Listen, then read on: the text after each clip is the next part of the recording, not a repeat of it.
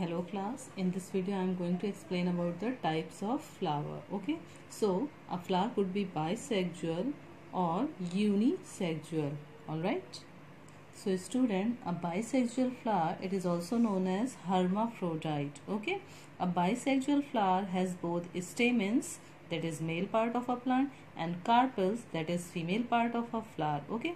Most flowers are bisexual. Examples mustard rose china rose petunia etc okay?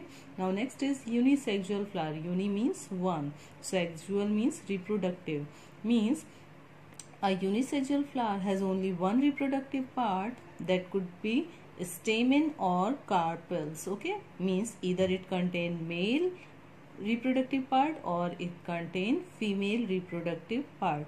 So again on the basis of unisexual flower a plant could be a flower could be male flower or female flower okay?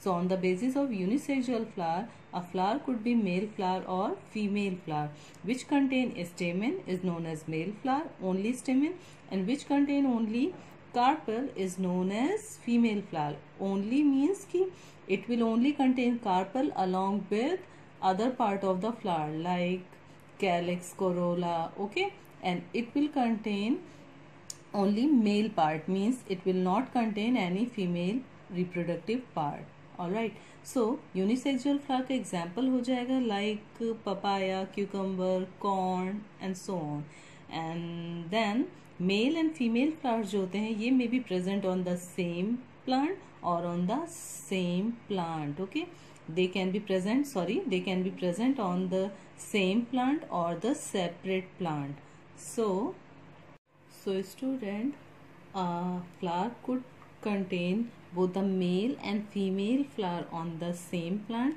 or they are bare on the different plant. Like here this plant is bearing the lower flower are female and the upper flowers are male flower. Whereas in these two plants one contain only male flower and the another contain only female flower. All right